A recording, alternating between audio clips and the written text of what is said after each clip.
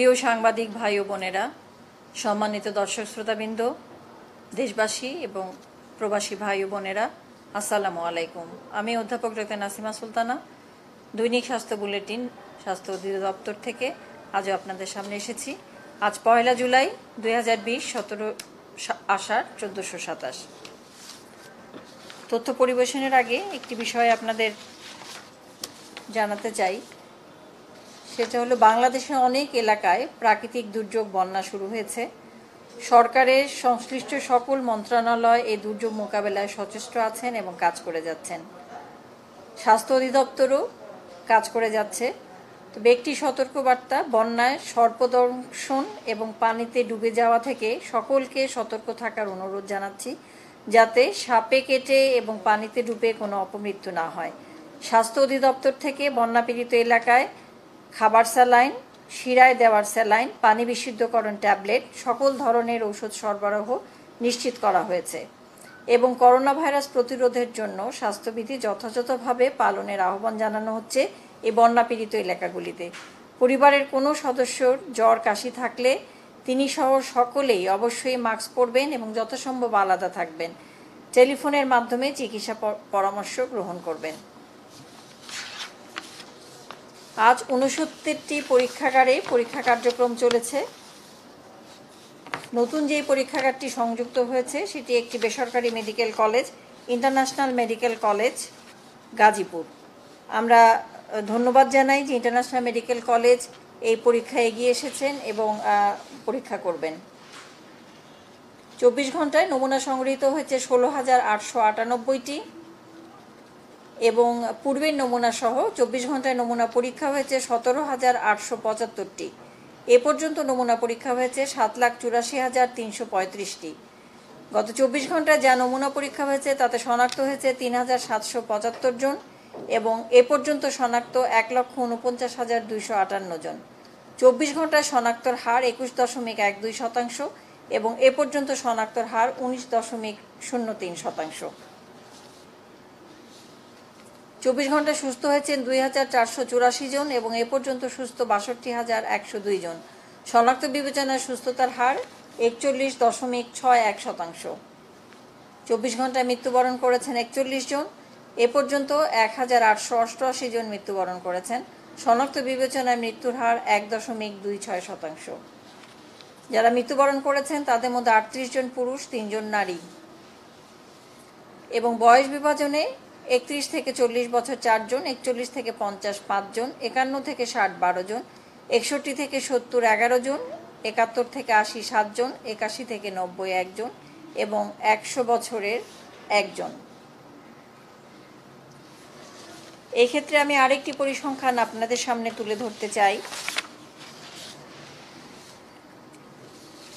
ষাটোর্ধ এ পর্যন্ত যারা মৃত্যুবরণ করেছেন, তাদের মধ্যে ষাটোর্ধ বয়সের মৃত্যুর হার তেতাল্লিশ দশমিক দুই সাত শতাংশ, একান্ন থেকে ষাট বছরের আঠাশ দশমিক আট এক শতাংশ, একচল্লিশ থেকে পঞ্চাশ বছরে চোদ্দ দশমিক নয় নয় শতাংশ, একত্রিশ থেকে চল্লিশ সাত দশমিক ছয় দুই শতাংশ, একত্রিশ থেকে তিরিশ বছরের তিন দশমিক চার নয় শতাংশ, দশ, এগারো থেকে বিশ বছরের মধ্যে এক দশমিক এক ছয় শতাংশ এবং দশ বছরের নিচে দশমিক ছয় তিন শতাংশ।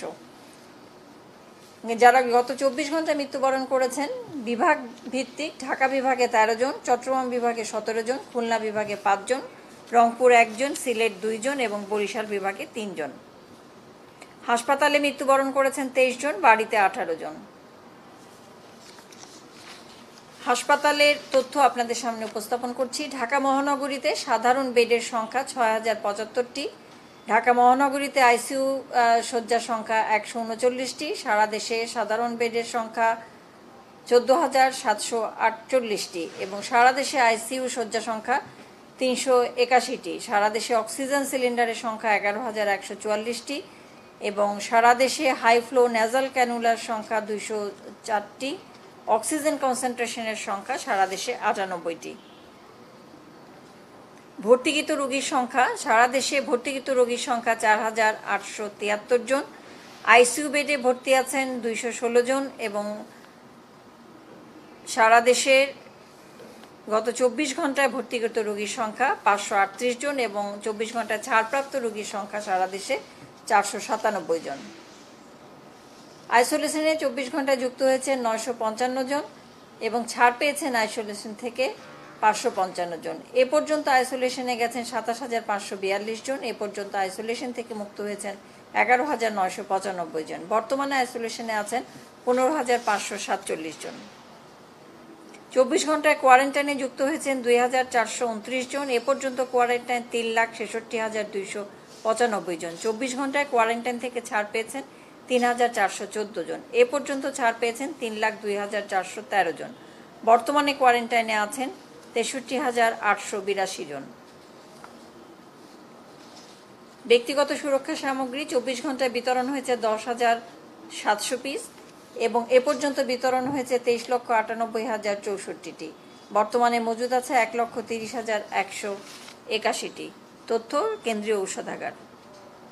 চব্বিশ ঘন্টায় ফোন কল গ্রহণ করা হয়েছে এক লক্ষ একষট্টি হাজার দুইশো নব্বইটি। এ পর্যন্ত ফোন কল গ্রহণ করা হয়েছে এক কোটি একচল্লিশ লক্ষ দুই হাজার ছয়শো একাশিটি। প্ল্যাটফর্মের মুক্তপাঠে হটলাইন সেবা দেওয়ার জন্য প্রশিক্ষণপ্রাপ্ত চিকিৎসক ষোলো হাজার চারশো চোদ্দ জন, চব্বিশ ঘন্টায় নতুন করে যুক্ত হয়েছেন চারজন স্বেচ্ছাভিত্তিতে সেবা দিয়ে যাচ্ছেন চার হাজার দুইশো সতেরো জন চিকিৎসক।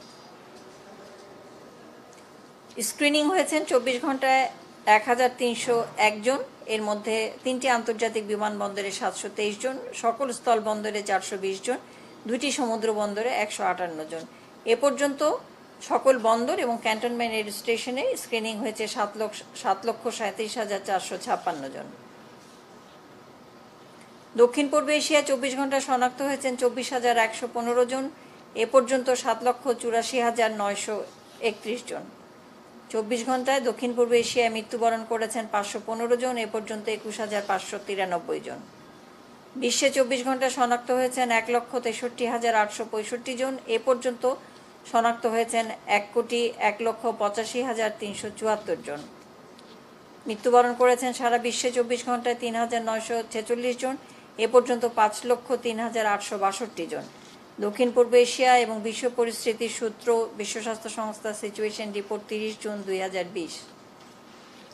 এই ছিল আমাদের কাছে তথ্য। শেষ করবার আগে আবারও বলব, আপনার সুরক্ষা আপনার হাতে। নিজেকে সুরক্ষিত রাখুন। পরিবারের সকল সদস্যকে সুরক্ষিত রাখুন। সঠিকভাবে মাস্ক পরুন। বারবার সাবান পানি দিয়ে বিশ সেকেন্ড ধরে হাত ধোন এবং সামাজিক দূরত্ব এড়িয়ে চলুন। জনসমাবেশ বা জনসমাগম এড়িয়ে চলুন। যারা বয়োবৃদ্ধ আছেন, তাদের প্রতি বিশেষভাবে খেয়াল রাখবেন। কারণ আপনারা দেখছেন যে আমাদের আক্রান্ত হওয়ার ঝুঁকি যদি, আক্রান্ত বয়োবৃদ্ধদের মধ্যে কম হলেও তাদের মৃত্যু হার অনেক বেশি। কাজেই বয়োবৃদ্ধরা যেন আক্রান্ত না হয়, সেই জন্য সবাই, পরিবারের সকলেই সচেষ্ট থাকবেন, সতর্ক থাকবেন, সচেতন থাকবেন। যাদের অসংক্রামক ব্যাধি আছে বা দীর্ঘমেয়াদী অসুখ আছে, যেমন উচ্চ রক্তচাপ, ডায়াবেটিস কিডনির সমস্যা বা ফুসফুসের সমস্যা, তারা সকলেই যে কোনো ধরনের ক্যান্সার, তারা সকলেই আরও অনেক বেশি সতর্ক থাকবেন কারণ তাদের জন্য ঝুঁকি অনেক বেশি। তারা তাদের চিকিৎসা চালিয়ে যাবেন, নিয়মিতভাবে চিকিৎসকের পরামর্শ নিয়ে চিকিৎসা চালিয়ে যাবেন এবং করোনা প্রতিরোধের জন্য অনেক বেশি সতর্ক থাকবেন। গর্ভবতী মা যারা আছেন, তাদের প্রতিও বিশেষ অনুরোধ, আপনারা নিজে সতর্ক থাকবেন এবং পরিবারের অন্যরাও যেন গর্ভবতী মাদের প্রতি খেয়াল রাখেন, তাদের পুষ্টির বিষয়ে খেয়াল রাখেন এবং তাদের প্রতিরোধের বিষয়ে যেন, করোনা প্রতিরোধের বিষয়ে যেন সকলে খেয়াল রাখেন এবং গর্ভবতী মারা নিজেরাও নিজেদের যত্ন নেবেন এবং করোনা প্রতিরোধের বিষয়ে আপনারা সতর্ক থাকবেন। যারা শিশুদেরকে স্তনদান করছেন, আপনারা ইতিমধ্যেই আমরা অনেকবার বলেছি যে বিশ্ব স্বাস্থ্য সংস্থা বলেছে যে স্তনের দুগ্ধ দানের মধ্য দিয়ে বা মায়ের দুধের মাধ- মাধ্যমে করোনা সংক্রমিত হয় না। কাজে আপনারা আপনাদের শিশুদেরকে দুগ্ধ পান করাবেন এবং অবশ্যই আপনি মাস্ক পরে নিয়ে শিশুকে দুধ পান করাবেন। বারবার হাত ধুবেন, শিশুকে দুধ পান করানোর আগে অবশ্যই আপনি সাবান পানি দিয়ে হাত ধুয়ে নেবেন।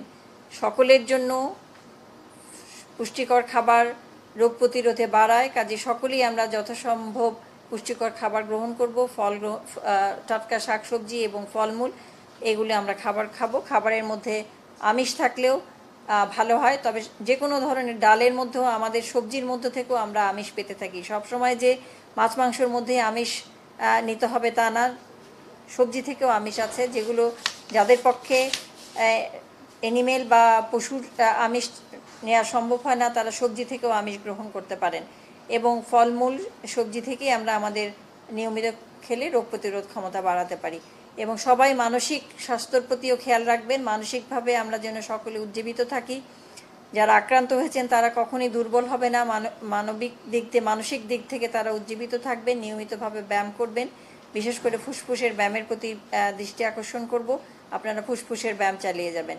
এবং যারা ঘরে অনেক দিন ধরে আট- আটকে আছে, বিশেষ করে আমাদের শিশুরা এবং ছাত্রছাত্রীরা, তারা যেভাবে অনলাইন শিক্ষাদান পদ্ধতি চলছে, তার সাথে সক্রিয়ভাবে অংশগ্রহণ করবেন এবং শিশুদের প্রতি সবাই খেয়াল রেখে তারা যেন সৃষ্টিশীল কাজের প্রতি জড়িত থাকে, সেদিকেও খেয়াল রাখবেন।